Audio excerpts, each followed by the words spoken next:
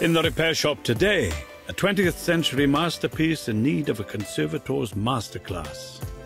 The only way I can tell there's a tear is when I look at the back here and I see that. And a 1940s tricycle that needs a bit of brute force. What on earth are you doing? We're bending, Okay. bending it straight. Bending it straight. nice. Okay. Right. Are we all on it? Right. Oh, blimey, Riley. No, it's not moving.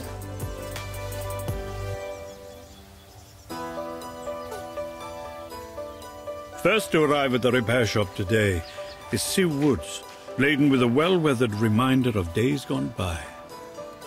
Hello, Hello. I'm Steve. I'm Sue. Nice to meet you. She's putting all her trust in clockmaker Steve Fletcher. What have we got in here? We have got my grandparents' clock. It was a wedding present in 1917. so it's let's have a 100 years old. Oh. Any more bits? More bits. This is an interesting looking clock. Um, it's not often that we get the, the three different dials on here the, the clock, the thermometer, and the barometer. Tell me a bit about the clock. Well, this was my paternal grandparents' wedding gift from the church in Glasgow where they went. We lived with her because she'd rented the house before my parents bought it, and I spent an awful lot of time with her. Went everywhere with her. This was always in the middle of the mantelpiece, and sitting in Grandma's front room was one of those big memories. Grandma became ill. She ended up with dementia, so she went into hospital, and eventually the living room got cleared. And after that, I don't know what happened. I, know, I thought it just got packed up, put away somewhere. About 40 years later, I found it in my dad's shed. He'd obviously, I don't know what happened, but he'd obviously tried to resolve the problem and not got very far. When you found it, what were your feelings? I'm sorry to say I cried actually because um, it was really upsetting. I know my dad would have tried to do his best, but I wonder if he was got it in this state and he was a bit embarrassed to bring it back out again, but couldn't bear to part with it. I'm going to have a quick look at the, some of the things that, Yeah. that, that might be wrong then. This looks in uh, pretty poor condition. So this would have had an enamel dial, a white enamel dial. Uh, we've got all the pieces of wood here, have we? So good, that fits nicely and that fits there. And have you got the piece for... No, we're missing that one piece. Oh, that's such I a shame. I've got a lot, a lot of work to do to, to the clock. Um, but uh, I'll see what I can do on that. Brilliant. That would be wonderful. OK, thank you. Thank you very much. You're welcome. Bye. Bye now. My grandmother was really proud of that clock. It had been a present from the church, and it, obviously to her it showed how much they thought of her. And she loved it. She really did ca- take care of it, so it would be so nice to have it back in working order. Once he gets the clock back to his bench, the full extent of the job ahead begins to dawn on Steve. We've got the barometer. I need to replace the glass, the hand, and the outer bezel. I've got the thermometer. Uh, I hope the tube is all right. Uh, the scale isn't. The scale has completely deteriorated. The clock is a massive job. With so many components needing to be replaced, Steve's drawing on some old reserves. I have literally tens of thousands of old parts that I've collected over my 45 years of, of doing clock repairs. I've got this old clock here, um, and because the dial is missing as well, I'm hoping that this dial will fit. I quite often um, see a clock in the charity shop and pick it up just to have as, as spares. So um, it's, uh, it's, it's day now, and um, I'm going to take the movement out. So this seems really quite drastic, but uh, I think this is the only way of doing it.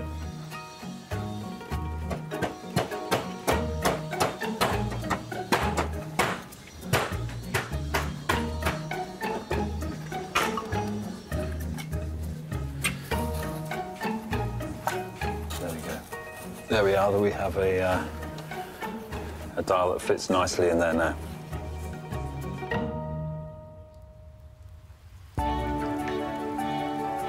Next, into the repair shop, Barbara Reeve is bringing a treasured work of art that's had an unfortunate accident. She's hoping that painting conservator Lucia Scalisi can bring it back to life. Hello, hello. Nice to meet you. I'm Lucia. I'm Barbara. Hello, Barbara. And this is the painting. Oh. Oh, wow. Oh, it's Beautiful, isn't it? Yes. Beautiful thing. Yes. This is lovely. Isn't it just? Yes. It's Caputo. Oh, and it's signed, it's dated. Yes. Well, Caputo is an Italian, Neapolitan, I think, or that area of Italy. But I know that he uh, lived and worked in Paris, hence this Oh, did he? scene. Right. Yeah, for a long time. And it's quite a romantic Yes. picture. It's very beautiful.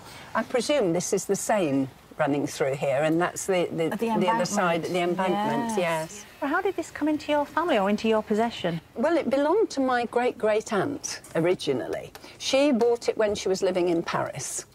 When? Do you know? Did Uh, she buy it well, I the think I or- think it would be around this time because shortly after that she came to London and lived in London. So she could have bought it directly from the artist. I think she probably did. Yes. So it's been in your family basically since, Since its it was- inception. yeah, Yes. yeah. And it came down through my grandmother and my father to me. And it has very special memories for me because my grandmother brought me up for the first 13 years of my life. So it's really is special to me. It's And, beautiful. Yes, it is, and isn't it? what has happened? Well, unfortunately, ah. Uh, it was my fault. My father was moving and he decided to downsize. So he said I could have this painting. So we wrapped it up and put it on one side, and we were wrapping some other things. And I leant forward, and I knew I was not holding my balance, and I put my hand, oh, so that's. and I felt something, and I thought, oh my goodness me. Did this happen recently? Because Yes. it kind of it looks Oh yes, within Really? within about the last three months. Oh, how heartbreaking. Yes. In the sense, this this painting has been in my in my life on and off, more or less all my Oh, life. You yes. see, and it would be oh. wonderful to have it restored. Absolutely. I, I'm thrilled. I'll be really thrilled to work on oh, this. thank it's you really so beautiful. much. I look forward to seeing it repaired. Good, Thank my pleasure, much. my pleasure. Thank you. All Bye righty, bye. bye-bye. It was such an awful moment. You know, my father had had it for many years, and the day I get it, I damage it, which is terrible. To have the painting restored will be wonderful because I want to be able to pass that on to the next generation when it's time. Ulisse Caputo was an Italian artist based in Paris at the turn of the 20th century. Famous for his landscapes and elegant female portraits, his rich palette and bold use of light and colour brought him international recognition. So subject matter-wise, it's a, an absolutely delight. Um, Central Paris, winter. There's men in the corner here sweeping snow. It's a really lovely subject. But what I can see as a conservator and what, what I'm looking for is how the artist painted it. But the figure of this woman, which is a really beautiful S-curved shape to get you focusing on that, um, she's very thinly painted, and what happens when the paint is squeezed out of the tube and the artist wants to use it thinly? Sometimes they over thin it, and when it dries, it cracks. So these are drying cracks. That's a technical problem, and there's nothing, you know, it's not bad. It's just a, an issue, but it's secure. I don't have to work on that. It's absolutely fine. There are fingerprints in the paintwork, and these must be the artist's fingerprints. There's actually a couple on her face and certainly in her garments. And I'm wondering if he modelled this figure with his fingers before he sketched, you know, he sort of sketched it in with his, his fingers as to where he was going to place her and then painted it. It's very unusual to have fingerprints like that. But yeah, it's, it's an absolute delightful painting and I can't wait to get started. But the priority is to get this tear repaired.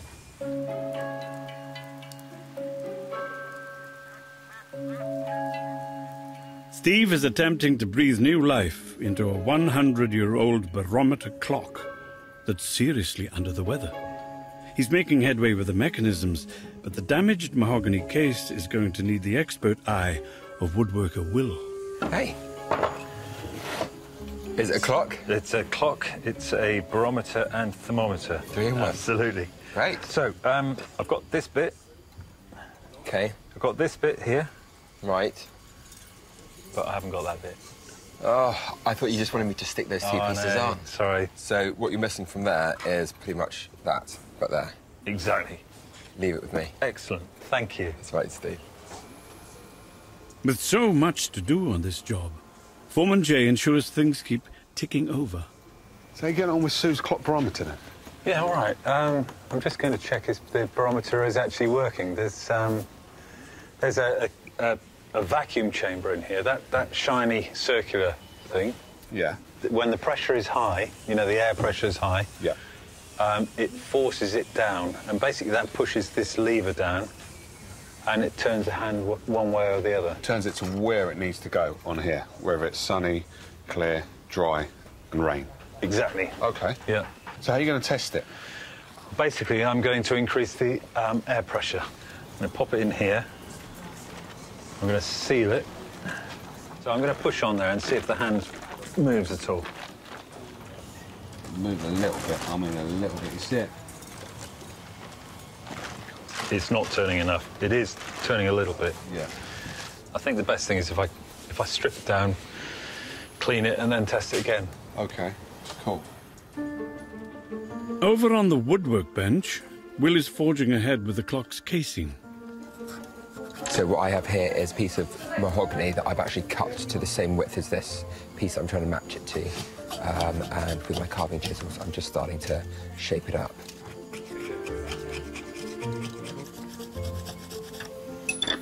So now I have um, roughly the right shape that I need. I'm going to stick that on the side, and uh, once that's dried, then I can use a chisel to blend that in further, because even though that looks like a perfect match, it probably needs a little bit of tweaking once it's on there. Tasks are steadily being ticked off this mammoth to-do list. Steve has replaced the original thermometer scale with um, this lovely ceramic plate. The original must have fit in there perfectly, whereas this replacement is slightly too wide. So what- what I need to do now is um, slightly widen the wood on the inside with a chisel. Um, I want it to fit quite snug, but not too snug because I don't want any extra pressure on the ceramic.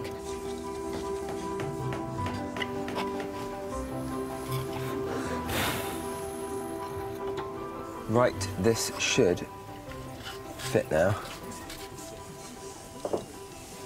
Ah, perfect. Absolutely perfect. And that's one step closer to finishing the uh, barometer clock. While some of the items that pass through the doors of the repair shop have met with unfortunate accidents, others arrive simply suffering from the ravages of time and years and years of use. The next arrival is a prime example. A battered old childhood favorite belonging to Caroline Sambrook Hurst. Hello, Hello. I'm Steve. Hello, I'm Caroline. Hi. I'm Erik. Hello, Erik. And we've got your tricycle I here. I see you have. Caroline's brought in her three wheeler for the attention of Steve and vintage bike expert Erik Van Bommel. Bit of a classic, I think. what can you tell us about it? Well, Christmas morning, 1954 is the first time I remember it, and there was this Christmas present for me, and looking a little better than this it does at the moment. Yeah. It has been well used, but not all by me. My parents had a farm and riding school, so I could ride it round the farm and then go down the village with my brother. You could put things in the boot, and it had my toys in here, and even the pet dog could go in there, the terrier, not with the lid shut. and what you could do, another child could sit on it and hold on to there. Ah, is that why there's um, slightly dented here? Probably. So this has got a lot of memories for you, hasn't it? it certainly has. So how come you've kept it for such a long time? It's been kept so long because it has gone through the family, all through different stages. Looking at it, I'm pretty sure this is a Triang, which is a famous British brand. And this was made in the late 40s, I think, Yeah. and it would have been Yeah. one of their bigger selling models back then. Really? On the internet, they're very rare, and people have mentioned that they had them, but they've never kept them. So this is quite special. Uh, it is special, yeah. What's, what are your plans with it? Well, what I'd really like to be able to do is have Thomas, my grandson, be able to have the bike to ride. And that would be great fun. I will definitely try our best for this. It will be a pleasure to work on it. Thank you. Leave it with us, and um, we'll see what we can do. Thank you. Goodbye. Bye-bye now. Thomas, who's five, has tried to ride the tricycle, and it's so difficult. The pedals won't go round, and he gets, he so tries, he's so hard to try and get it going. And to think, to see his face as if, if he could get on that tricycle now, and then actually pedal it and go somewhere on it, marvellous. So Erik, what are the main areas that you've got to uh, repair on this? All right. Obviously, it's quite usable, but cosmetically, it's extremely tired. So it involves a strip down, complete disassembly. We'll clean up the frame, we'll repaint the frame.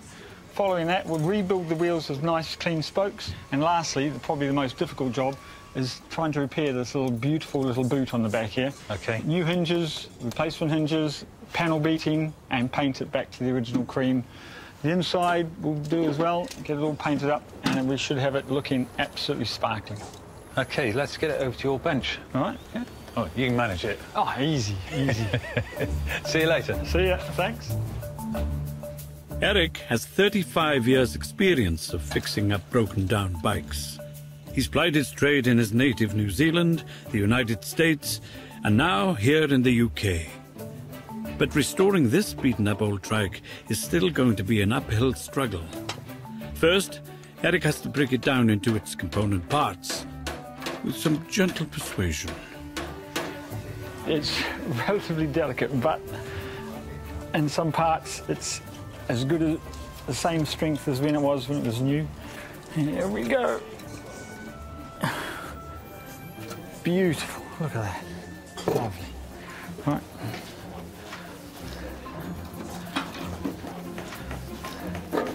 Oh, it's a bit dark and murky in here. It's not going to be easy because it's very, very rusty. The last wiggle. Yeah, left and right, back. And here we go. Lovely. Meanwhile, Lucia is starting her repair of the painting by early 20th century artist Ulisse Caputo. There's a tear running through this Parisian scene, and before Lucia can begin on the artwork, she first must fix the damaged area of canvas. I've got my adhesive in here. It's isinglass, which is a fish glue, and this is acid-free tissue. And I'm just going to position it along the edge of the tear. And this will hold all those little fractured flakes of paint because I want really to put as little of my work onto this painting as I can. With all these things, it really is less is more because I have to take this off afterwards. And if I put absolutely loads on, it's just going to take more getting off. So that, that will do for that. That will hold it all in place. It will dry in a short while. And then I'm going to do a moisture treatment on the back. Once the glue is dry, Lucia uses a heated spatula to remove moisture from the back of the painting and flatten any loose threads. Then she applies a heat-sealed adhesive to stop it fraying. I use silicone release paper on top of it so it doesn't stick to anything. And the painting sat on release paper as well. And then the heat will activate the adhesive and attach the whole thing to the canvas. And if I show you what it looks like from the front, but it's all quite flat now. So that's the tear from the front.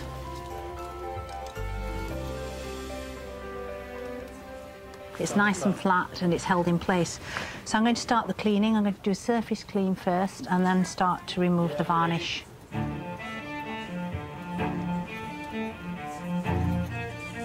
It's basically taking off years of dirt, in this case probably best part of 100 years of dirt and a discoloured varnish.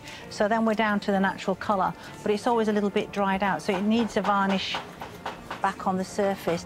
And you'll see as I'm brushing it out that the colours become saturated by the varnish and it becomes much more readable. I mean, it's just lovely. Once the varnish is dry, Lucia can start to disguise her repair. I'm using an acrylic filler. It's ready-made. I like it because it's very quick and easy to use and I can rub it down easily afterwards. This first layer I'm putting on, I'm actually just pushing it into the weave to close the, the weave up. And then what I'll do is put another layer on when that's dry, just to build up. I mean, we're talking about microns here, just to build the surface up so that it's more or less the same level as the paint layer, and then I can retouch it. In crude terms, it is a bit like doing a, a filling as you would um, in your DIY situations at home. So I'm making sure that this filler is right up to the edges, joining with the paint layer. So I'm really pleased with the way it's going so far.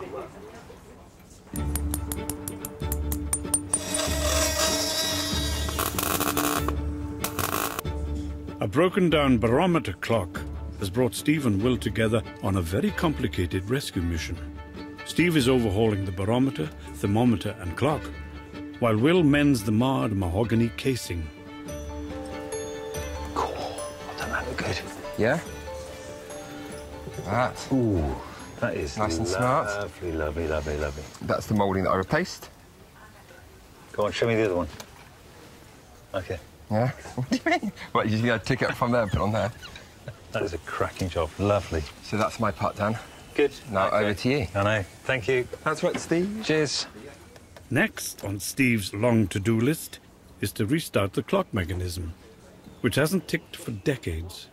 This, all being well, should tick when I wind it up. This is the moment of truth. There we are, ticking straight away. Beautiful. I've done this all my life and, and come to this moment so many times, and it still gives me such satisfaction when I put the key in, turn it, and it starts ticking straight away like that.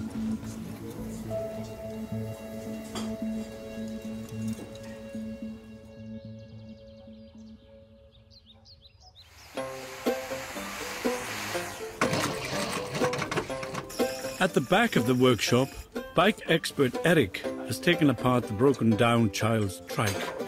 He's now trying to reinvent its tired old wheels. I'll take the tyres and tubes off, cut the spokes out, and I'll get the rims repainted and back into the traditional red.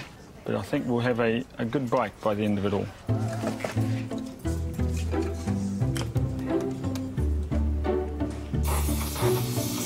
Erik has enlisted the help of metal expert Dominic Chinea. But the bike's battered old boot may be beyond even his skills. it's in a really bad way. Um, the more I look at it, the more damaged bits I can see. It's obviously been used a lot. It's split and cracked, uh, dented. So I'm going to have to cut a lot of this out and remake uh, sort of new patch like repair panels to, to put in there. Bash this top around and try and get that into somewhere near straight again. Uh, there's a lot, a lot of work to do on this. Daunted but not defeated, Dom sets to work cutting away any perished metal. I've managed to drill out the spot welds around this, this lip at the edge, which has meant this has come out in one piece, which is great because it's allowed me to template from nice fresh steel. So now I can just put this new, this new piece back in. So it's pretty much now it's ready to weld.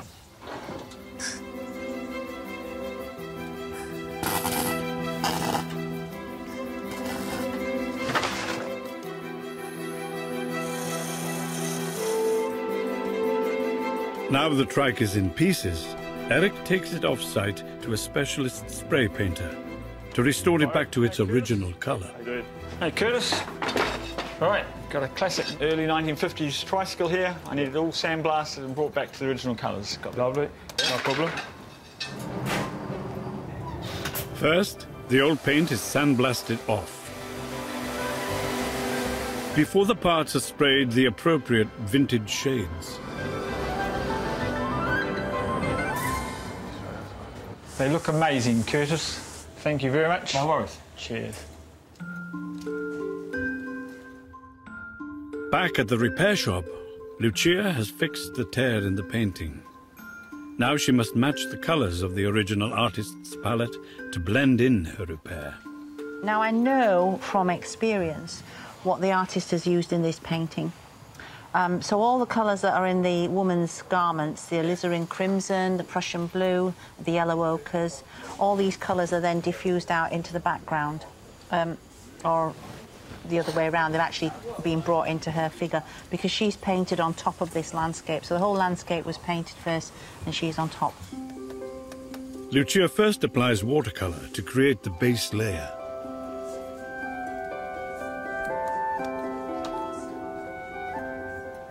I've done a little bit of reconstruction in the tree because the branch, a section through the trunk was missing and some of the branches were missing. So I've just sort of worked them up. For the final finish, she's using a complex palette of acrylic paints.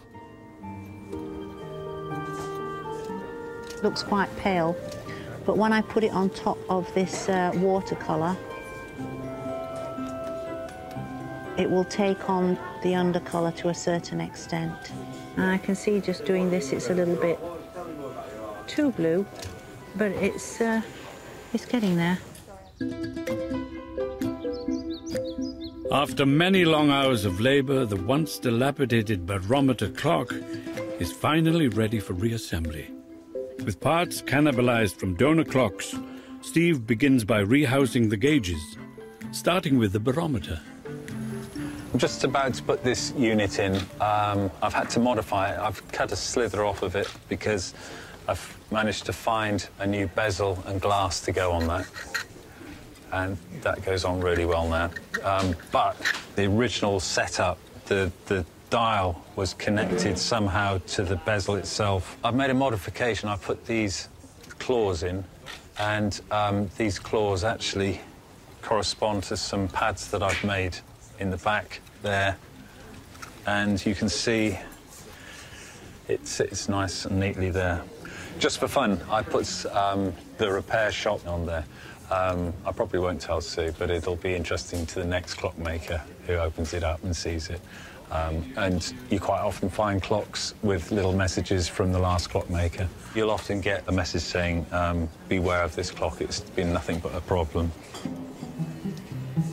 But this clock's problems are almost over. All that remains is for Steve to make a few final adjustments to the mechanisms. So, Steve, we're at a crucial stage here? We are. You know the, the, the barometer you helped me with test testing? Yeah. That is in there. Now, I found a nice old hand. That came off of an old barometer. Cool. So I'm just going to find out what the pressure is. It's 30.05. All right, so you've just set it to that. I have. So this, it's, it's pointing to fair at the moment, and Okay. um, it's, it's good weather today, so... Uh, All right. Yeah, it's, it's correct today, but you might have it pointing over to fair, and it might be raining. So it's, it, you, you, can't, you, you- you can't look at this and put your washing out and think it's going to be fine. Is it any good then? Yeah, no, it, it's, it's handy. It gives you an It's idea. handy. Yeah, it gives you an idea. It's, believe me. It, For me, what I'll do is I'll just look out the window before I hang out my smalls. yeah, if, The barometer clock arrived in a sorry state, frozen in time for over 40 years. Its owner, Sue, has returned in the hope that waiting for her is a beloved old friend, come rain or shine. Hello, Sue, how are you? Steve, how are you doing? It's nice I'm to see good. you again. Hi. Oh, what have you got for me? Yeah, right, I'll just get something for you. All right. So, under here, I have your mm-hmm. clock. Clock. Can you hear anything?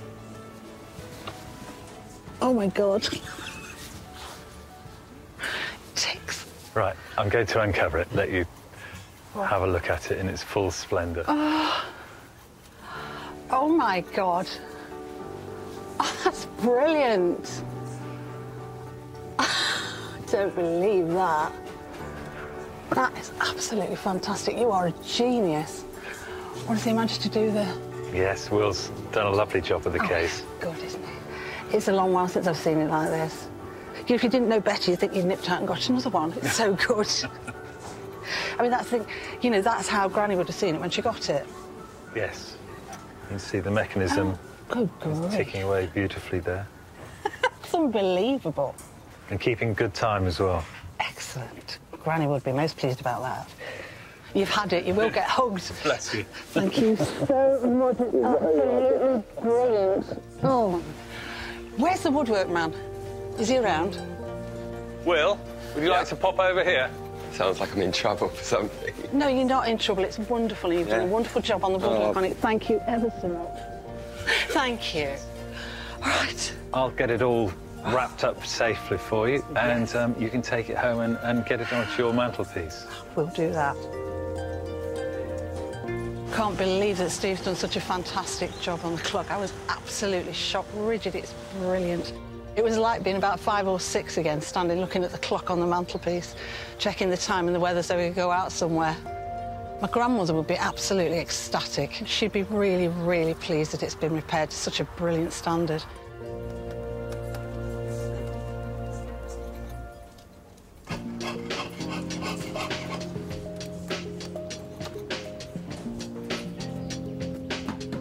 Outside in the metalwork area, Dom is making headway with the vintage tricycle's boot. So this is coming on really well now. I've got the, the new repair panels that I've made, the floor and this front piece here are now in, ground back, and looking really good. It's starting to look a lot more solid than it did.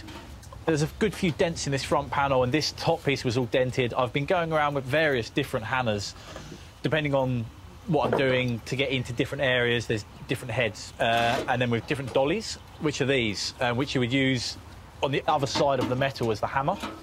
Different shapes, depending on the curve of what you're what you're trying to beat. So I'm just working around now, trying to get this nice and smooth again. But uh, on the whole, it's looking an awful lot better. I'm really happy. I just need to tackle this lid now, which looks like it's gonna it's gonna fit quite well. With all of the components freshly painted and back in the workshop, Erik can now get on with the job of putting the tricycle back together again. This is one of the more critical parts of the entire reassembly. Little bearings, a bit of grease, making sure everything fits back into space. The bearings help with the steering. They make it all nice and smooth and controllable at speed.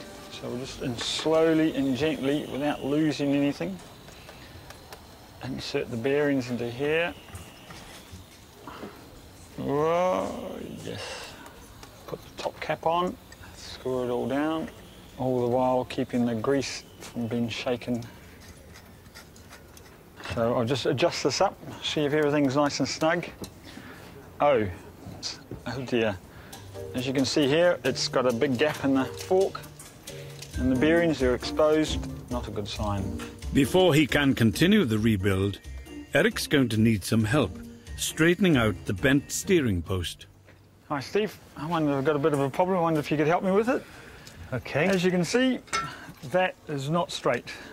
Wow, that is really bent. That is a common fault with old bicycles. They've ridden into a wall at some stage, probably several stages. Was there a lot of riding into walls? There's a lot of 10 speeds and tricycles just, that's the way they stopped in the old Yeah. days. So we've got to get that trued up so the bearings work, the steering works, and we can stop safely once again. Okay. Uh, let's put it in the vice over there. Yeah, okay. A bit of brute force may be the answer, or it could spell disaster. Gently, gently, gently. Right, so that's it. And you have Okay. You tell me when. Okay.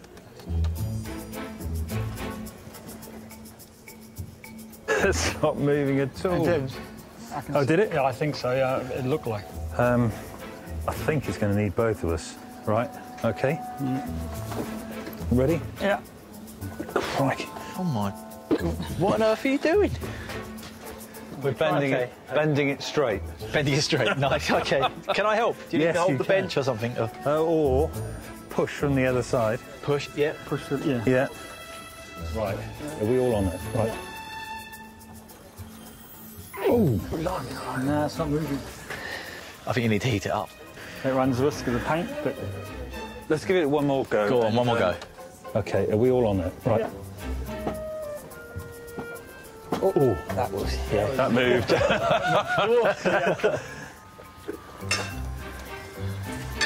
I think we've fixed it, boys.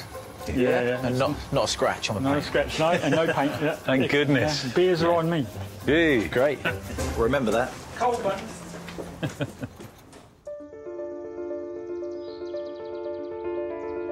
Lucia has been painstakingly restoring Barbara's great great aunt Annie's painting.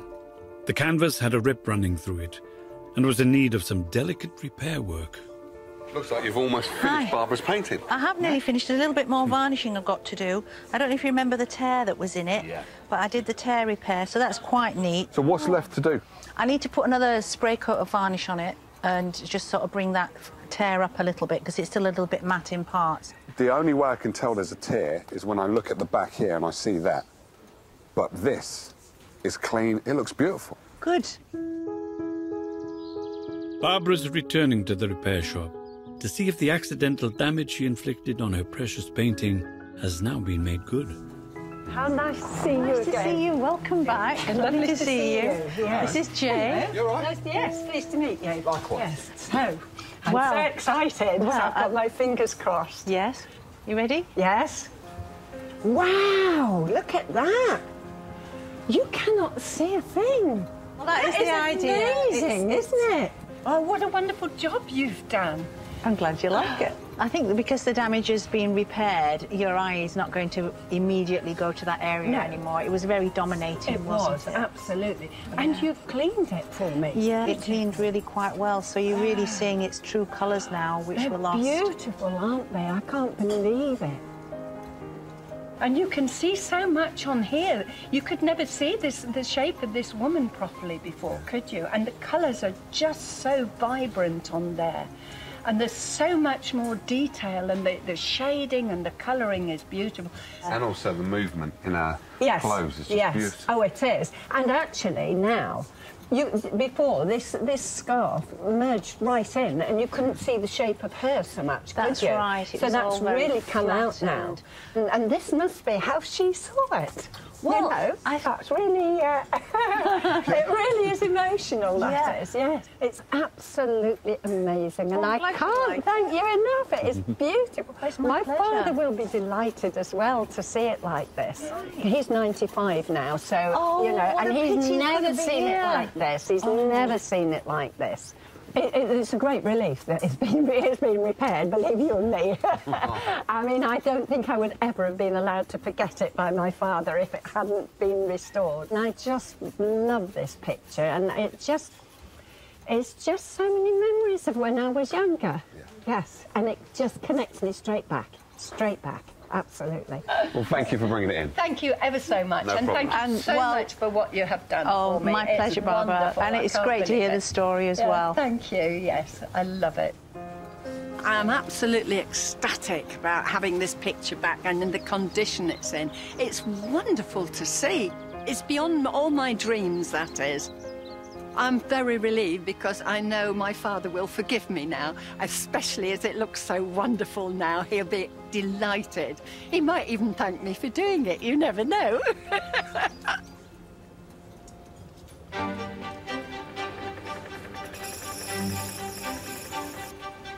Bike expert Erik is putting the finishing touches to the vintage tricycle. So here we have the boot, reconditioned, repainted, panel beated. Now it looks beautiful like new now. So we'll just fix it with the old original fittings. Hopefully it goes in together.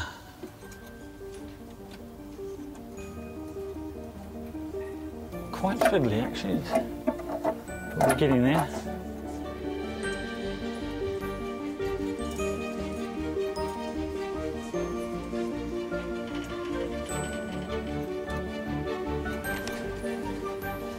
got ourselves a nice British-made saddle. Very, very traditional, the way all saddles were made back up until about the, the 60s. Starting to look really cool.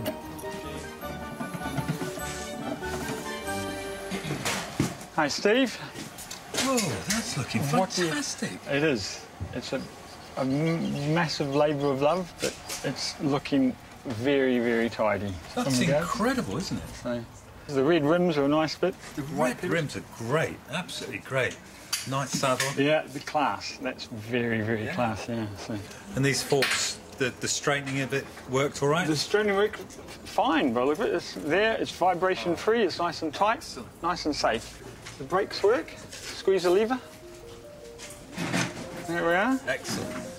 I think you've done an absolutely fantastic job. Well Thank you. done. Yes, thank you very much. Really well done.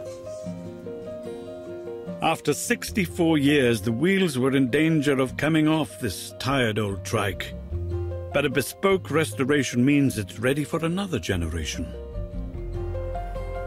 In Stratford upon Avon, its owner Caroline is awaiting a first look at the three wheeler with her grandchildren, Thomas and Keisha. If I could see the tricycle restored, it would be absolutely amazing. I'd be really thrilled. How did So- it look like when you were a child? Well, when I was a child, it was just all lovely and gleaming, cream and red and chrome. It had shiny bits on it. It'd be great to be able to see a grandchild ride it and be able to ride it properly. I'd feel a bit excited to ride it. I don't know. What's it going to be like? Look what I found. What do you think of this? Yeah. What do you think's inside here? I think we better get the covers off, don't you? Yeah. Come on then. Oh, could you? Look at this. Oh my goodness me! Ooh, look at that! Look at that! Look at that! Fantastic! Mm. How much can you remember what it was like before? Oh, dirty. Look at this. Bit cleaner. I didn't expect this. Got a new thing in there. Look how beautiful it is now. How beautifully painted. That is absolutely lovely. I love it. Yes. I was just overwhelmed. I wouldn't have thought it was possible to make it look so good and so rideable again. You're going to try it? See what you think? Put your feet on the pedals. Right, off you pedal. Come on. There you go.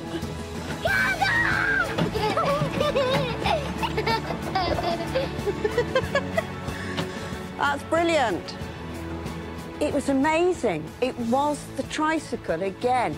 I would never have thought that I would have seen my grandchildren playing with one of my toys. That is just such an astounding feeling. It makes you feel really sort of warm and fuzzy inside.